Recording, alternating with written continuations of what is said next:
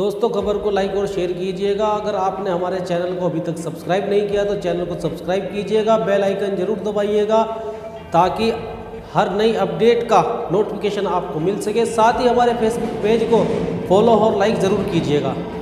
दोस्तों, मैं हूँ आपके साथ मलिक और आप देख रहे हैं जनता की आवाज़ न्यूज़ जी हाँ दोस्तों, आज हमारे जनपद सहारनपुर के अंदर तशरीफ़ लाए हैं ऑल इंडिया मजलिस मुस्लिमीन के पश्चिम उत्तर प्रदेश के अध्यक्ष जनाब डॉक्टर मेहताब चौहान साहब। जिन्होंने सहारनपुर नगर निगम के वार्ड 36 में जनसभा को भी संबोधित किया है। आज उनसे बात करेंगे कि मजलिस को लेकर पूरे उत्तर प्रदेश के अंदर जैसे निकाय चुनाव की तैयारियों में लगे हुए हैं।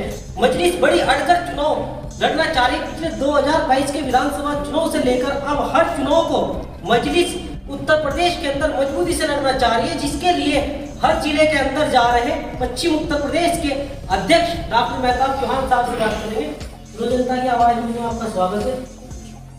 आप बताइए कि उत्तर प्रदेश के अंदर ऑल इंडिया मजलिस मुस्लिमीन को आप मज़बूत करने के लिए जो मेहनत कर रहे हैं, हालाँकि बहुत लोगों का कहना यह है कि ऑल इंडिया मजलिस मुस्लिमीन को जितना बढ़ावा दिया जाएगा, उतना भाजपा को मज़बूत किया जाएगा। इसके बारे में आपका क्या कहना सबसे जब काशीराम जी ने बहुजन समाज पार्टी को बनाया था, तब काशीराम जी पर भी एलिगेशन भी लगा था कि उस वक्त जो कांग्रेसी दलित था एलिगेशन लगाया था कि काशी आया है और संघ से फैसला आया है, कांग्रेस को हटा दिया तो ये तो एलिगेशन है, लगते रहेंगे। और असल में भारतीय जनता पार्टी को जो फ़ायदा पहुंचाती है, आप देखिए, कांग्रेस पहुंचाती है, समाजवादी पहुंचाती है, बहुजन समाज पार्टी को बात पहुंचाती है। मजलिस तो अभी उत्तर प्रदेश में, ना तो कोई बड़ा चुनाव लड़ पाई है। पहली बार चुनाव लड़ी 2022 का विधानसभा। और लोकसभा कोई नहीं लड़ी हम उन लोगों ने। लोकसभा, सपा, बसपा ने गठबंधन में लड़ी, कांग्रेस ने गठबंधन में लड़ी। फिर बीजेपी कैसे जीत बीजेपी को असली फ़ायदा तो यही लोग पहुँचा। दो हज़ार चौबीस, उन्नीस का जो लोकसभा चुनाव था तो तो असदुद्दीन ओवैसी का हैरान करके गठबंधन को सपोर्ट करो। हालाँकि ये बात बर्दाश्त से बाहर है कि जो लोग कहते हैं कि मजलिस चुनाव लड़ रही है तो बीजेपी को फ़ायदा पहुँचता है। 2014 से यही बात है कि भाजपा को हराने के लिए मुस्लिम वोट करता रहा है, लेकिन हरा नहीं पाया।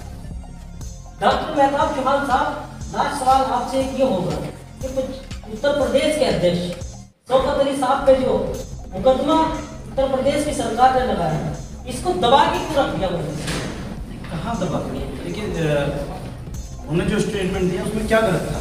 बताइए। अच्छा मुझे एक चीज़ बताइए कि भाई तकनीक थी ये हम लोगों ने स्कूल में पढ़ा और हमारे जो गुरु थे जो नॉन मुस्लिम थे उन्हीं ने हम लोगों को पढ़ाया तो इसमें गलत क्या है मुझे बताइएगा मेरा सवाल है गलत नहीं है लेकिन जब मुकदमा लिखा है भाजपा सरकार ने तो मजलिस के कार्यकर्ता रोड पे क्यों नहीं आए? रोड पे क्यों आए? क्यों रोड पर आए? क्यों विरोध नहीं कर रहे?